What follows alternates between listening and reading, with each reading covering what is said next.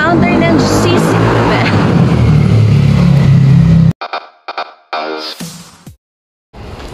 Hi everyone! Kamusta kayong lahat? I know matagal akong hindi nakapag-vlog um, here sa YouTube. Nung nag-pandemic, nagpahinga rin yung YouTube channel ko.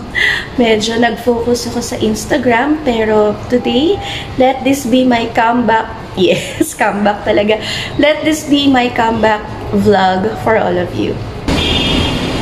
Today is Sunday, first Sunday of the month, December 4, and I'm on my way to CCF Gateway. Yung husband ko na una na doon, kasi si Teacher Erwin, yung mag-heart prep, so support for Teacher Erwin. Dito na ako sa mga naghahanap ng church. Ang CCF Gateway ay located sa cinema.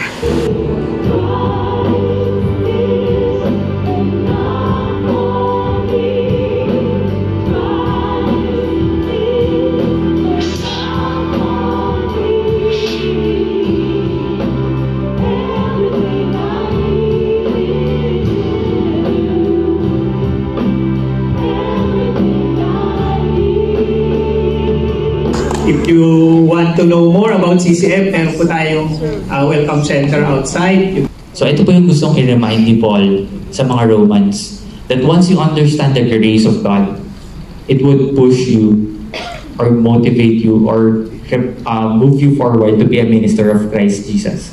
Because you understand you don't deserve this. And you wanted to others to know that as well. That we have the good news, we have the gospel.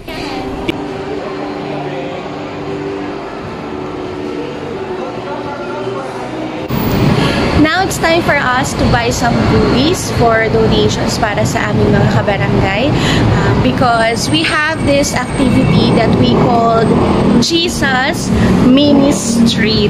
Ang founder ng CC...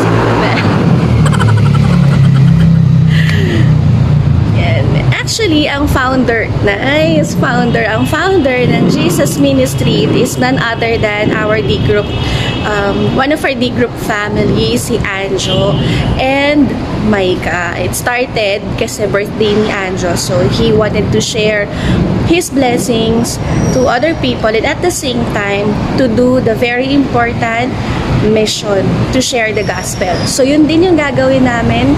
So, for now, mamimili muna kami ng um, goodies for donations. Samahan niyo kami.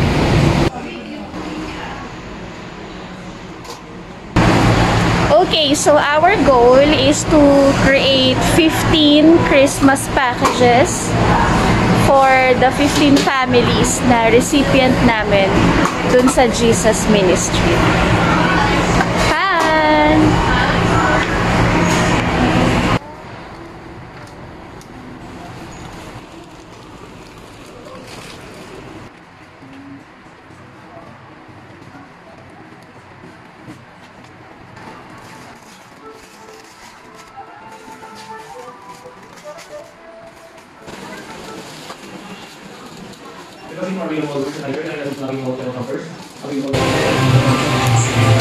Ayan, we're home na.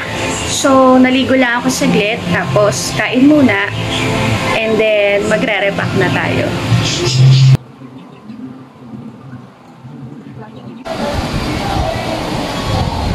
Okay, game na. Let's go. First batch of grocery items. Ayan. So, the day before, baka or baka on the day itself, depende kung anong maluwag na schedule. Uh, babalik kami sa grocery para dagdagan pa to. Ang goal ay yung meron na silang maihanda for Christmas. So, ito pang spaghetti, macaroni salad, and fruit salad. Pero bago ang lahat, sanitize muna natin. Ayan, so nakapack na. Yay! Tapos na akong mag-pack. Ribbons na lang kulang. Ayan, mabilis ako natapos kasi tinulungan ako ng aking little assistant. Ayaw niya magpakita. Thank you for helping me, Ashley. I really appreciate it. Of course, we would like to thank all of those people who were able to share their blessings. Hindi namin mabibili lahat to kung di dahil sa donations nyo.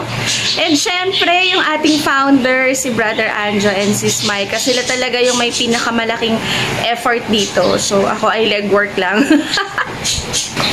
So this is just the first part of the video. On the second part, we will share with you the actual event, kung ano yung um, mangyayari or nangyari sa Jesus Ministry. So again, um, please stay tuned. Um, please like and subscribe. Don't forget to click the notification bell. And to God be the glory. See you!